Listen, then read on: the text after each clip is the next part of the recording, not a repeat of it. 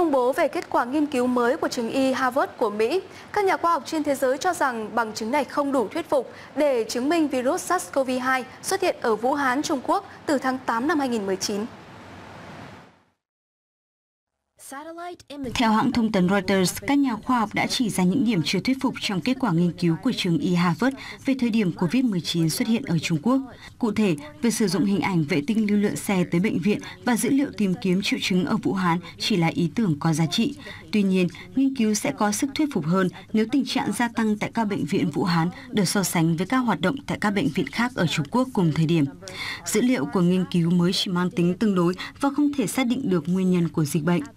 Bên cạnh đó, các nhà khoa học Anh cũng cho biết thêm, nghiên cứu của Đại học Harvard tập trung vào bệnh viện nhi lớn nhất Hồ Bắc, tuy nhiên trẻ em lại là đối tượng ghi nhận ít ca nhập viện nhất vì COVID-19.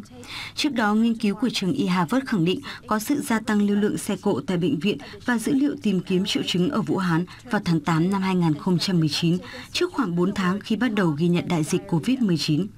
Người phát ngôn Bộ Ngoại giao Trung Quốc Hoa Xuân Ánh đã ngay lập tức bác bỏ những phát hiện này và cho rằng đây là kết luận dựa trên những quan sát hời hợt như lưu lượng giao thông. Chuyên gia về dịch bệnh danh tiếng, đồng thời là cựu thành viên Hội đồng Khoa học của Chính phủ Anh, giáo sư Neil Ferguson mới đây nhận định số người tử vong vì COVID-19 tại Anh có thể giảm một nửa nếu như chính phủ phong tỏa đất nước sớm hơn một tuần. Phong tỏa chậm có lẽ cũng là nguyên nhân vì sao cho đến nay, trong khi hầu hết các nước châu Âu đều đã gỡ bỏ lệnh phong tỏa, nước Anh vẫn đang nới lỏng rất chậm do lo ngại đại dịch bùng phát. Trả lời Ủy ban Khoa học và Công nghệ của Nghị viện Anh vào chiều ngày 10 tháng 6, giáo sư Neil Ferguson khẳng định những biện pháp mà chính phủ Anh đã và đang áp dụng là đúng đắn nhưng được đưa ra quá muộn. Dịch bệnh tăng gấp đôi số người nhiễm sau mỗi 3 đến 4 ngày vào thời điểm trước khi áp đặt lệnh phong tỏa. Vì thế, nếu nước Anh phong tỏa sớm hơn một tuần, thì số người thiệt mạng ít nhất sẽ giảm đi một nửa nếu các biện pháp này được đưa ra sớm hơn. Lệnh phong tỏa toàn quốc được Thủ tướng Anh Boris Johnson đưa ra vào ngày 23 tháng 3, chậm hơn từ 1 tới 2 tuần so với các nước khác tại châu Âu như Italia, Tây Ban Nha hay Pháp. Dù có diễn biến dịch chậm hơn các nước khác, nhưng từ hơn một tháng qua, Anh đã trở thành nước có tổn thất vì Covid-19 lớn nhất châu Âu và lớn thứ hai trên thế giới, chỉ sau Mỹ. Trong phản ứng mới nhất, Thủ tướng Boris Johnson khẳng định chính phủ đã áp đặt lệnh phong tỏa vào thời điểm đúng như khuyến cáo của Hội đồng Khoa học, đồng thời cho biết vẫn còn quá sớm để đưa ra kết luận về vấn đề này. Tôi biết là bây giờ mọi người muốn tôi đưa ra phán quyết về tất cả những gì đã diễn ra trong vài tháng qua. Tôi nghĩ rằng sẽ đến lúc đó, sẽ đến lúc phải đưa ra các bài học, nhưng hiện nay vẫn còn là quá sớm khi còn rất nhiều điều chúng ta chưa rõ. Cho đến nay, trong khi hầu hết các nước châu Âu đều đã gỡ bỏ phong tỏa, nước Anh vẫn đang nới lỏng một cách rất chậm do lo ngại đại dịch bùng phát. Thưa quý vị, theo quyết định 15 của Thủ tướng Chính phủ, người lao động tạm hoãn thực hiện hợp đồng lao động hoặc nghỉ việc không hưởng lương tại các doanh nghiệp là một trong những nhóm được thụ hưởng gói an sinh xã hội 62.000 tỷ đồng. Theo đó, mức hỗ trợ 1,8 triệu đồng một người một tháng, hỗ trợ tối đa 3 tháng, từ tháng 4 đến tháng 6 năm nay. Những tưởng khó khăn của người lao động sẽ vơi đi phần nào, thế nhưng sau hơn một tháng triển khai, có rất ít doanh nghiệp làm thủ tục để người lao động được hưởng hỗ trợ. Do ảnh hưởng của dịch bệnh COVID-19, từ tháng 2 năm nay, công ty nơi anh Tuyên làm việc rơi vào cảnh khó khăn. Hoạt động xuất khẩu lao động và du học bị đình trệ nên anh không có việc làm, không có thu nhập. Thế nhưng đến nay, anh vẫn chưa nhận được sự hỗ trợ từ gói an sinh xã hội. Sau Tết thì là tháng đầu tiên tức là tháng 2 đấy thì công ty trả cho 50% tính trên cái lương cơ bản. Còn từ tháng 3, tháng 4 trở đi chỉ 25% thôi. Đến tháng 5 là công ty không trả. Bản thân mà không có công việc sẽ tính chuyển sang cái hướng là làm công việc khác. Để người lao động được nhận hỗ trợ, doanh nghiệp phải hỗ trợ, doanh nghiệp phải hỗ trợ, doanh nghiệp phải lập danh sách đề nghị được tổ chức công đoàn cơ sở, cơ quan bảo hiểm xã hội xác nhận và các cơ quan có thẩm quyền quyết định phê duyệt. Trong hồ sơ đề nghị phải có báo cáo tài chính quý 1 năm 2020 và các giấy tờ chứng minh doanh nghiệp không có thu nhập. Nhiều doanh nghiệp dù khó khăn nhưng cũng không thuộc tiêu chí này. Doanh nghiệp phải thu hẹp sản xuất, à, giảm một số cái cái cái việc làm của người lao động. À, nhưng doanh nghiệp vẫn đang sản xuất, vẫn đang kinh doanh. Cho nên cái việc mà chứng minh rằng doanh nghiệp không có doanh thu hoặc không có nguồn tài chính để trả lương cho người lao động mới người lao động mới được hưởng à, cái hỗ trợ của chính phủ thì cái điều này là rất khó thực hiện. Có nhiều doanh nghiệp cũng có thể ảnh hưởng từ tháng 7, tháng 8, tức là sau cả tháng 6, chứ không phải là chỉ có bị ảnh hưởng việc làm từ tháng 4 đến tháng 6. Thế thì việc mà cái người lao động nghỉ việc từ tháng 2, tháng 3 hoặc là sau tháng 6 thì sẽ không thuộc cái gói hỗ trợ của chính phủ. Thì như vậy thì mục đích của cái gói hỗ trợ có nghĩa là đến được với những cái người lao động có hoàn cảnh khó khăn. Thế thì những cái điều kiện đấy thì nó lại làm cho cái cái sự khó khăn của người lao động. Chính vì lý do này, nhiều tỉnh thành địa phương trên cả nước chưa thể chi trả hỗ trợ COVID-19 cho cho người lao động của doanh nghiệp. Đến đầu tháng 6 năm nay, thành phố Hà Nội đã tiếp nhận hồ sơ của 94 doanh nghiệp với gần 2.000 lao động. Tuy nhiên, Hà Nội mới quyết định chi trả cho 4 doanh nghiệp với 50 lao động với tổng số tiền là 90 triệu đồng. Có những doanh nghiệp là họ chỉ cho gặp khó khăn do dịch Covid, họ chỉ cho độ khoảng 30% số lao động trong doanh nghiệp nghỉ việc. Rõ ràng là cái người lao động đang nghỉ việc. Nhưng mà còn 70% họ vẫn tiếp tục hoạt động. Thì như vậy là trong doanh nghiệp đó vẫn có doanh thu. Đấy. Thế thì cái điều kiện này như vậy là vô hình chung là 30% người lao động nghỉ việc thực tế kia vì điều kiện như vậy cho nên là người lao động không được hỗ trợ. Đấy, thì cái này chúng tôi cũng sẽ tiếp tục kiến nghị để mà có cái tháo gỡ. Do Covid-19, một lượng lớn người lao động gặp khó khăn khi thu nhập giảm, chi phí sinh hoạt lại tăng cao. Nhiều người đã phải tạm dừng công việc hiện tại, thậm chí bỏ việc để mưu sinh. Vì vậy, việc giải ngân gói 62.000 tỷ đồng cần nhanh hơn, đơn giản hóa thủ tục để tiền hỗ trợ nhanh đến tay người lao động. Liên quan đến đề xuất của Tổng cục Du lịch kéo dài kỳ nghỉ lễ mùng 2 tháng 9 lên 5 ngày để kích cầu du lịch sau dịch Covid-19, Bộ trưởng Bộ Lao động Thương binh và Xã hội cho biết Thủ tướng đã không tán thành với phương án này. Theo Bộ trưởng Bộ Lao động Thương binh Xã hội Đào Ngọc Dung, ngày mùng 2 tháng 9 rơi vào giữa tuần, khoảng cách đến ngày nghỉ cuối tuần là quá xa. Vì vậy, việc thực hiện hoán đổi hay nghỉ bù là bất hợp lý. Thời điểm này phải ưu tiên tối đa cho việc phục hồi sản xuất, phát triển kinh tế do đợt dịch Covid-19 vừa qua. Và hiện Việt Nam có khoảng 55 triệu lao động. Theo pháp luật hiện hành thì việc nghỉ bù hay hoán đổi ở khu vực doanh nghiệp là do chủ sử dụng lao động quyết định. Còn lại ở khu vực công chức, viên chức khoảng 2 triệu lao động thì do chính phủ sẽ xem xét quyết định có cho nghỉ hay không. 2 triệu người so với 55 triệu người là rất nhỏ, chỉ từ 4 đến 5%, cũng không lớn cho phát triển du lịch. Hơn nữa, thông thường thì từ mùng 3 đến ngày mùng 5 tháng 9 là ngày hội tự trường, các bậc phụ huynh sẽ dành thời gian đưa con em đến trường, chuẩn bị năm học mới.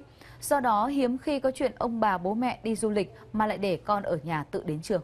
Theo Tổng cục Du lịch, từ tháng 2 đến tháng 4, ngành du lịch Việt Nam đã thiệt hại 7,7 tỷ đô la Mỹ vì dịch Covid-19. Tại thành phố Hồ Chí Minh, địa phương dẫn đầu cả nước về lượng khách quốc tế cũng đã thiệt hại hàng chục ngàn tỷ đồng trong thời gian qua. Chính vì thế, ngay khi dịch bệnh được kiểm soát, địa phương này đã nhanh chóng cùng các doanh nghiệp triển khai các chương trình kích cầu nội địa để phục hồi thị trường. Đặc biệt với vai trò đầu tàu của vùng kinh tế trọng điểm phía Nam, thành phố Hồ Chí Minh không chỉ kích cầu cho riêng địa phương mà còn tạo động lực kích cầu cho toàn vùng. Trước đây, để trải nghiệm trên chiếc xe buýt 2 tầng này đi vòng quanh thành phố Hồ Chí Minh, du khách phải trả từ 250.000 đến 330.000 đồng cho một lộ trình 24 tiếng. Thế nhưng, giờ đây với chương trình kích cầu du lịch của thành phố Hồ Chí Minh, giá vé của hành trình chỉ còn 99.000 đồng.